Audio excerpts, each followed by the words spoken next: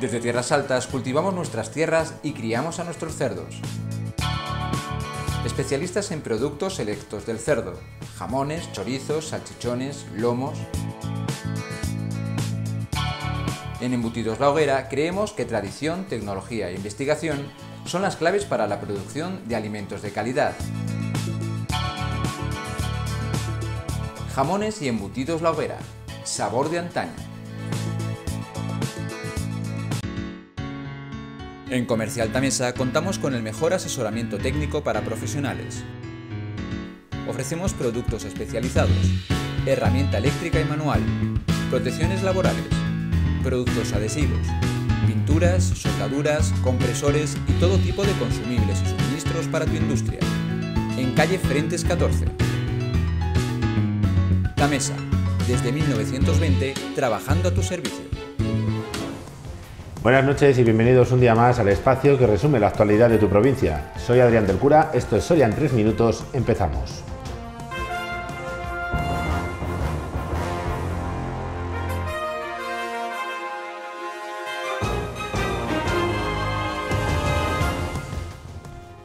Diputación y Colegio de Farmacéuticos han renovado el convenio de colaboración por el que se mejora la adherencia de tratamientos en el medio rural. El objetivo es atender mejor a los mayores del medio rural y ayudar a las farmacias para que no se tengan que ir de un pueblo.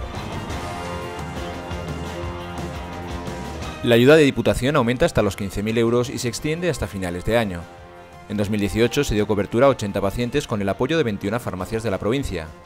Desde Diputación esperan que la ayuda mejore el servicio. Ha funcionado y esperemos que, el incremento de la cuantía también sirva para, para, eh, mejorar la, atención o para ampliar los, el, servicio que se prestan desde las farmacias que se me antojan servicios absolutamente esenciales y lo, estamos viendo. ¿no? Cada vez que se cierra una farmacia el pueblo se moviliza ¿no? y eso es por la importancia, la trascendencia que tiene para, para los municipios. En el convenio de 2019 se incluye la ayuda a los dependientes, los estudios realizados muestran que los pacientes asistidos mejoraban un 50% su adherencia al tratamiento, un 40% el conocimiento del mismo y provocaba una reducción del 80% de ingresos hospitalarios. De tal manera que se evita que esa persona mayor que está en su municipio, en su pueblo, tenga que ir a, una residencia o lo que sea, provocando, pues eso, primero dos cosas, el trastorno del propio paciente porque se va de su casa a una, a una residencia y luego que ayuda a fijar la población. Esta mañana se ha presentado la memoria de responsabilidad social corporativa de Caja Rural de Soria del 2018. El director de la entidad resaltaba la importancia de generar empleo a través de las participadas y de los diferentes proyectos que financian. Domingo Barca resaltaba que junto con la oficina móvil con cobertura en 17 poblaciones, la Caja hace un esfuerzo en la inclusión del medio rural. Pensar que de 53 oficinas que tenemos, 25 están ubicadas en poblaciones inferiores a 13 a 3.000 habitantes y 13 de ellas son unipersonales, que están en núcleos de población que tienen menos de 300 habitantes.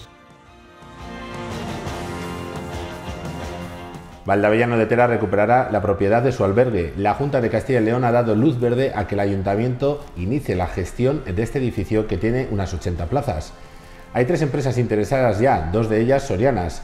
Desde el consistorio indican que primarán la generación de puestos de trabajo. Hay dos campamentos de la Junta interesados, uno de ellos para establecerse en el mes de julio. Vamos, si, estamos dentro del tiempo suficiente para que para, para esa fecha pues eh, que pueda empezar el movimiento. Pero vamos, en un principio te digo que hay 30, 30 chicos con la posibilidad de hacer otro campamento de atletas. Y en deportes, el Club Deportivo San José ha vuelto a hacer historia. Su equipo femenino, creado hace tan solo un año, ha ascendido a la Liga Gonalpi, la primera división regional de Castilla y León. Las colegiales impusieron fuera de casa al Palencia femenino por dos goles a cinco, con lo que certificaron la segunda plaza y el ascenso. Un merecido triunfo después de 19 partidos ganados, 5 empates y tan solo dos derrotas, y una diferencia de goles de más 75.